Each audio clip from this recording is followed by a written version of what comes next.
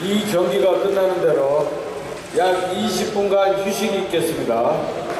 이 경기가 끝나는 대로 약 20분간 휴식이 있습니다. 각 팀에서는 참고하시기 바랍니다.